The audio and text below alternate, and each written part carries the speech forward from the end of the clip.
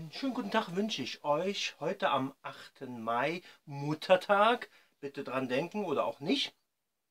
Ich habe nie dran gedacht. Ich habe immer mit meiner Mutter den Tag, der, den internationalen Tag der Frauen äh, gefeiert, den ich aber leider auch vergessen habe. Also von daher, ähm, ja, gut. Okay, aber ansonsten war meine Mutter immer für mich da. 365 Tage im Jahr, nicht nur am 8. Mai. Oder an einem Sonntag. Gut, ähm, das nur da vorweg. Falls ihr jetzt ein schlechtes Gewissen kriegt, ja, schaltet das einfach ab.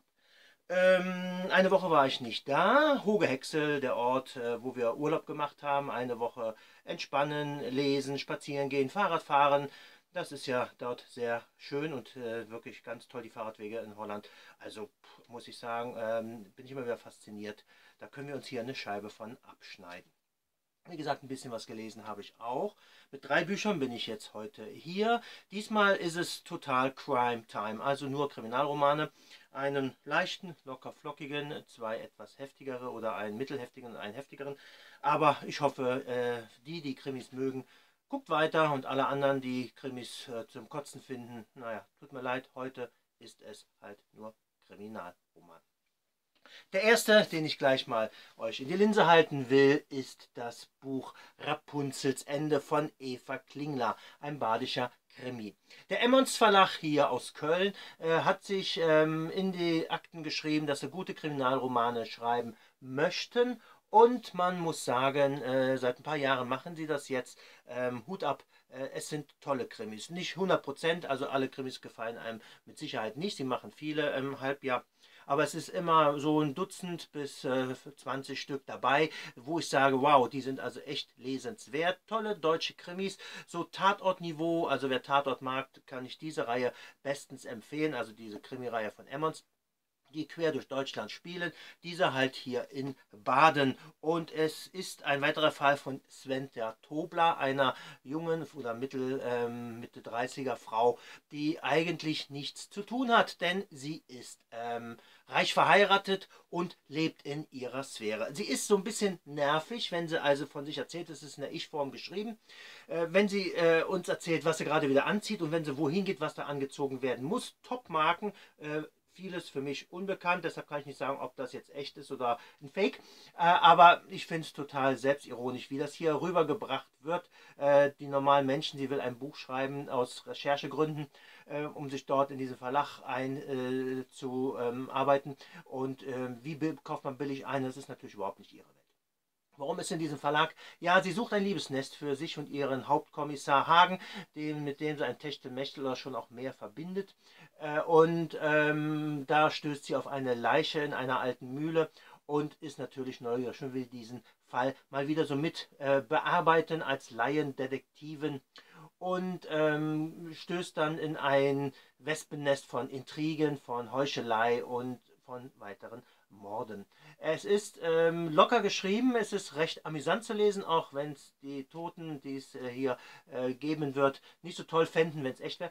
Äh, man kann es lesen, man kann es locker weglesen. Wie gesagt, ein guter Tatort, der jedem zu empfehlen ist. Wer schöne deutsche Kriminalromane lesen möchte, vom Spannungs-, vom, von der Schnelligkeit her ruhiger, aber trotzdem mit sehr viel Spaß und Augenzwinkern. Das gilt für den nächsten nicht so sehr. Wenn man damit augenzwinkert, dann eventuell eher vor Entsetzen. Sarah Blordell, der Pfad des Todes. Sarah Blordell ist eine dänische Kriminalautorin, äh, die jetzt hier mit ihrem zweiten Fall der Luisa Rick in die Öffentlichkeit kommt. Und ähm, dieser Fall ist besonders ähm, dramatisch, weil es in einer Gegend spielt, wo noch sehr viel ähm, der Mythos herrscht, äh, die Leute noch ähm, heidnischen Bräuchen folgen und auch wieder einer Religion, heidnischer Religion folgen mit Thor und Co. sozusagen. Und ähm, dort werden Rituale abgehalten und äh, auch äh, die Mannbarkeit der Jugendlichen, einer wird 15 und wird dann in die Welt der Männer aufgenommen. Das läuft total aus dem Ruder. Der Junge haut ab und äh, verschwindet in den Wäldern, wird vermisst und äh, durch Fotoaufnahmen von einem Naturfotografen, der ähm, so Sensoren äh, dort im Wald versteckt hat, um Füchse zu fotografieren, äh, da taucht dieser Junge auf einem Bild auf. Er kommt, ähm, wird als vermisst gemeldet. Die Polizei kümmert sich mehr schlecht als recht darum, weil auf dieser Insel ja nicht sehr viel passieren wird, bis man eine Leiche findet, einer jungen Frau und dann auch das mit dem Jungen in Verbindung setzt. Dann fängt der Fall an aufzurollen und ähm, die Kommissarin, die auch selbst aus der Gegend kommt und fast alle Beteiligten dort und Verdächtigen kennt, noch aus ihrer Jugendzeit. Das macht die Sache natürlich für sie nicht leichter. Und äh, auch sie äh, muss sich äh, durchsetzen in dieser Männerwelt von Machos, von Idioten, von Arschlöchern. Also es ist nicht schön.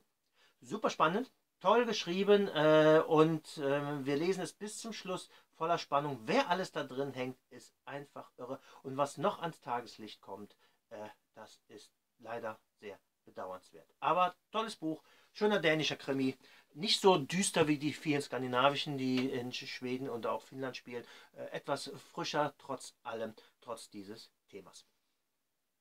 Einen dritten habe ich auch noch und der ist der absolute Top-Krimi, wenn man es äh, recht blutig haben möchte. Da kann ich sagen, hier fließt das Blut äh, literweise.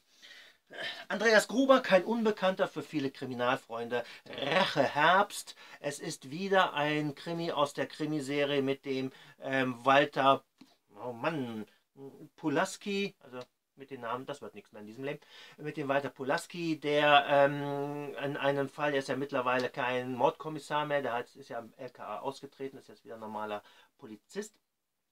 Und er kommt an einen Tatort, weil er der eben äh, dann als normaler Polizist zuerst absichern muss, wo eine junge Frau unter einer Leipziger Brücke gefunden wird, ermordet, völlig ausgeblutet und ähm, ja, ja, einfach eine tote junge Prostituierte, Nadia mit Namen, man findet auch schnell heraus, wie sie heißt, äh, wo die Eltern wohnen. Aber trotzdem, es ist ja nur eine Prostituierte, man muss sich dort nicht weiter darum kümmern. Er kümmert sich aber auch weiter darum, zusammen mit der äh, Frau, mit der Mutter äh, dieses toten Mädchens, die noch eine Schwester hatte, die auch verschwunden ist. Und er kommt nach und nach dahinter, dass es kein Einzelmord war, sondern dass sich die Spur quer durch Europa zieht. Und er macht sich mit dieser Frau, die auch total nervig ist, aber man kann es verstehen, ihre Tochter ist ermordet worden und sie sucht die jüngere 16-jährige Tochter auch noch, denn man weiß ja nicht, was mit ihr ist. Lebt sie noch oder ist sie auch schon gestorben? Also man kann die Mutter verstehen, dass sie da völlig durchdreht und Sachen macht, die man unter normalen Umständen nicht machen würde. Sie strapaziert weiter Polaski unwahrscheinlich. Ähm, es nervt ihn total, was ich wiederum verstehen kann, aber wie gesagt, man kann beide Seiten verstehen. Das Buch lebt von der Spannung pur, man liest es durch in einem Ruck und ist fasziniert. Und äh, wie gesagt, es fließt viel Blut, aber es ist in den logischen Zusammenhängen wirklich wieder toll konstruiert. Äh, der hat sich super herausgemacht, der Andreas Gruber. Ähm, und ähm, wenn man von ihm was liest, das ist immer eine Bank, wenn man also tolle, spannende Thriller, Psychothriller mag. Äh, greift ihn euch, holt ihn euch, liest ihn und vergesst für ein paar Stunden die Wirklichkeit. Jo, das war dann auch schon wieder aus unserer kleinen Bibliothek hier in Essen. Ich hoffe, für Krimi-Fans war etwas äh, dabei. Ich äh, lese jetzt weiter für die nächsten Tage. Äh, heute, äh, gut, Schwiegermuttertag, äh, Mutter gibt es nicht mehr. Da werden wir hingehen. Ähm, es ist einfach so und dann kann ich natürlich nicht lesen, wäre unhöflich. Aber ich werde noch genug Zeit haben, denn ab morgen fängt die Arbeit wieder an. Wünsche euch alle eine gute Woche und bis zum nächsten Sonntag, so hoffe ich. Macht's gut und tschüss.